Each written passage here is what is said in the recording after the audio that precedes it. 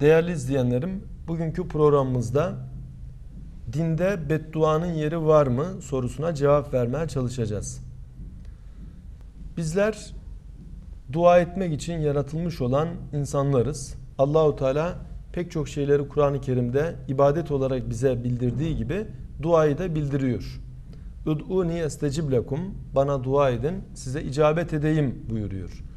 Kul ma ya'beu bikum rabbi levla duaukum yani duanız olmasa ne ehemmiyetiniz var? Rabbim size ne kıymet versin? Bu mealde ayet-i kerimeler var. Bizler normal şartlar altında birbirimize dua ederiz. Ve e, bir müminin başka bir mümine en büyük yardımı dua iledir.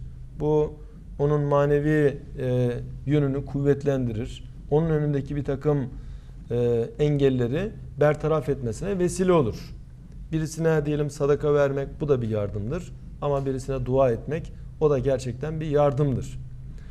Bununla beraber zaman zaman e, beddua ile karşı karşıya kalabiliyoruz.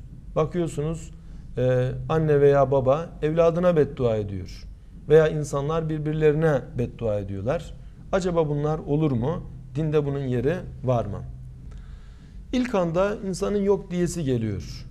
Yani insan birbirine hayırla dua etmek varken niye beddua etsin?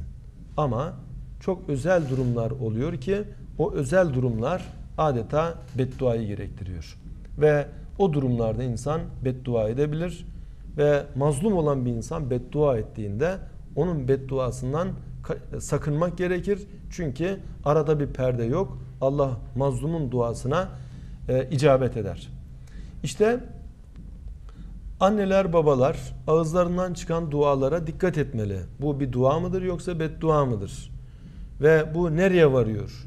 E, ne gibi neticeler verir? Bunlara dikkat etmeleri gerekiyor. Çünkü anne babanın evlat üzerinde çok hakları var. Anne baba dua ettiklerinde e, duaları makbuldür. Beddua ettiklerinde yine bedduaları makbuldür. Öte yandan peygamberler. Peygamberler ümmetlerinin adeta anasıdır, babasıdır. Ümmetinin saadeti için her türlü fedakarlığı yapan kimselerdir. Ama eğer ümmet hayırsız bir ümmet durumuna gelmişse peygamber artık dayanamaz, beddua da edebilir. Bunun Kur'an-ı Kerim'de bazı örnekleri var. Mesela Nuh Aleyhisselam, ikinci Adem denilen en büyük peygamberlerden Hazreti Nuh Aleyhisselam, Nuh suresinde anlatılan kıssasında artık bakıyor ki kavminin anlayacağı yok, dinleyeceği yok. Hazin bir şekilde Cenab-ı Hakk'a münacatta bulunuyor. Ya Rabbi diyor ben gece demedim, gündüz demedim. Her türlü yollarla kavmime anlattım. Ama benim anlatmam onları benden daha da kaçırdı. Benden uzaklaştılar. Ya Rabbi diyor artık bunların iman edeceği yok. Bunların hepsini helak et diyor. Ve yeryüzünde bir tek kafir bile bırakma diyor. Ve böylece beddua ediyor. Allahu Teala onun e, bedduasını kabul ediyor. Ya Nuh diyor artık bundan sonra e, onlara anlatma. Tebliğ dönemi bitti. Sen bir gemi yapmaya başla. Cebrail aleyhisselamın da talimiyle, göstermesiyle Hazreti Nuh büyük bir gemiyi inşa etmeye başlıyor. Çok uzun yıllar Hazreti Nuh'u hep böyle kendilerine nasihat veren bir kimse olarak gören bu insanlar Hazreti Nuh'un böyle gemi yapmasına şaşırıp kalıyorlar. Diyorlar ya Nuh artık nasihattan vazgeçtin marangozluğa mı başladın? Hazreti Nuh size bir felaket geliyor diyor. Bir tufan felaketi geliyor. Gelin e, bu inadınızdan vazgeçin, iman edin. Ama onlar e, yine dalga geçiyorlar ve bu büyük peygamberi gerçekten incitiyorlar, rahatsız ediyorlar. Ve neticede Cenab-ı Hak yerden sular fışkırtıyor, gökten bardaktan boşanırcasına yağmurlar indiriyor ve sular gittikçe yükseliyor ve sadece gemiye binenler selamette kalıyor. Geriye kalan o bölgede ne kadar insan varsa belki de o dönemde insanlık sadece Nuh'un kavminden ibaretti. O bölgede ne kadar insan varsa gemiye binenler dışında herkes helak olup gidiyor. Böylece Hz. Nuh'un bedduası neticesini vermiş oluyor. O kavim helak ediliyor. Benzeri bir şeyi Hz. Musa'da görüyoruz. Hz. Musa o da kavmine beddua ediyor.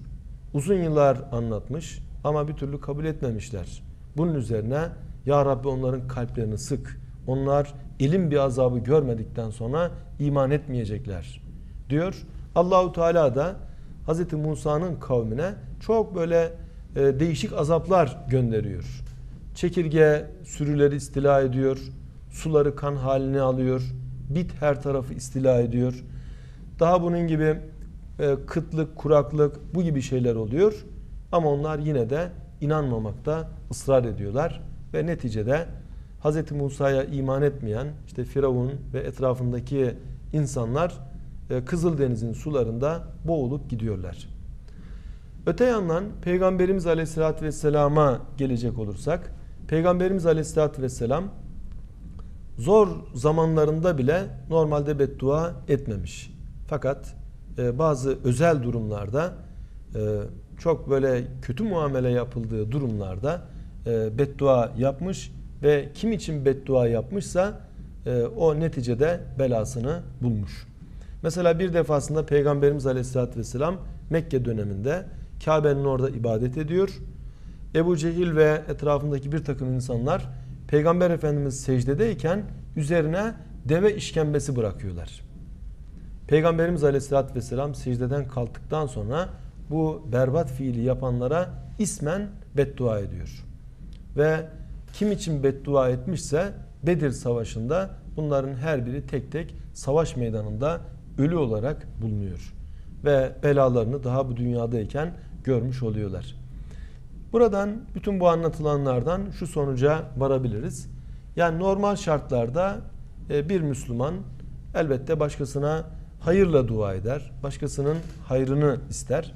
Ama bir kısım insanlar artık adeta insanlıktan çıkmışsa, adeta hayvandan daha aşağı bir duruma gelmişse, çok büyük zulümleri severek yapar bir hale gelmişlerse onlara da beddua caiz. En azından belki e, ismen olmasa bile lanetullah ala zalimin, lanetullah alel kafirin gibi genel ifadelerle Allah'ın laneti zalimler üzerine olsun, Allah'ın laneti kafirler üzerine olsun gibi bu gibi e, genel ifadelerle e, Kur'an-ı Kerim'de de görmekteyiz. Bu tarz lanetler e, caizdir. Kur'an-ı Kerim'de de örneği var. Peygamberimizin ve diğer peygamberlerin hayatlarında da bir takım örnekleri var. Kur'an-ı Kerim'de İsra suresinde geçen bir ayette Cenab-ı Hak şöyle bildiriyor. Ve yed'ul insane bi şerri duaehu bil hayr. Yani insan hayra dua eder gibi şerre dua eder. Bu e, olmaması gereken bir şey. Hayır ister gibi şer istenmez. Mesela Peygamberimizin kavmi Kur'an-ı Kerim'in Allah kelamı olduğundan şüphe içindeler. Hatta kabul etmiyorlar. Ve Allah'ım diyorlar eğer bu senin katından bir kitapsa üzerimize e, semadan bela yağdır. Bunu söylüyorlar. Halbuki Allah'ın bu senin katından bir kitapsa imanı bize nasip et demeleri gerekir. Halbuki kendilerine böyle beddua etmiş oluyorlar. Öte yandan mesela bir anne çocuğundan uygunsuz bir durum gördüğünde hemen bakıyorsunuz Allah seni taş etsin, Allah senin canını alsın böyle ifadeler kullanabiliyor. Halbuki o anda Azrail aleyhisselam gelse bak e, Allah senin canını alsın dedin istersen senin çocuğunun canını hemen alayım dese anne e, belki de bütün samimiyetiyle onu bırak benim canımı al diyecektir. E, böyle bir durumda e, madem çocuğuna beddua etmek istemiyor ağzından çıkana dikkat etmesi lazım. Bazı anneler bunu çok güzel bir e, üslupla hallediyorlar. Yani çocuğu diyelim korkutacak. E, Allah senin hayrını versin diyor. Yani belanı versin demiyor. Allah senin hayrını versin. Bunu söylerken de biraz yüksek tonla söylüyor. Çocuk e, biraz ürküyor, korkuyor ve annesinin dediğini yapıyor. Aslında bu çok güzel bir duadır. Allah senin hayrını versin. Çok güzel bir dua. Ama Allah senin belanı versin demek bu kötü bir duadır. Hatta Allah sana müstahakını versin demek bu da bazen kötü olabilir. Neden? E çünkü çocuk haddi aşmışsa başına bir bela gelebilir. Ama Allah seni ıslah etsin, Allah senin hayrını versin demek bu güzel bir duadır. İşte bir anne bir baba elbette kendi çocuğunu canları gibi sever. Canları gibi sevdiği çocuğa beddua değil dua etmeleri gerekir.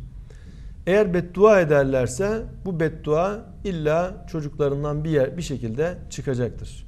Diyelim bir anne baba düşünün. Zengin ama evlatları hayırsız. Ve bunlar evlatlarına şöyle beddua etseler. Size büyük bir miras bırakıyoruz ama bu mirasımızdan hayır görmeyesiniz. Böyle bir bedduaları olsa gerçekten bu gibi olaylar da yaşanıyor. O aile, o ailenin çocukları e, mirastan bir hayır görmezler. Çok kısa bir zamanda ellerindeki mal, servet e, bir şekilde ellerinden çıkar gider veya o servet bir takım belalarla karşı karşıya kalmalarına vesile olabilir. Demek ki şefkatle meseleye bakmak lazım. Eğer e, din düşmanı değilse, Müslüman kardeşimizse ıslah olması için dua etmek gerekir. Ama çok zalim ama e, küfrü inadi durumunda bize de saldırgan bir durumdaysa e, bedduanın da dinde yeri vardır. Cenab-ı Hak e, İslami hayatı en güzel bir şekilde yaşamayı hepimize nasip eylesin. Bir başka programımızda görüşmek üzere. Hayırlı günler diliyorum.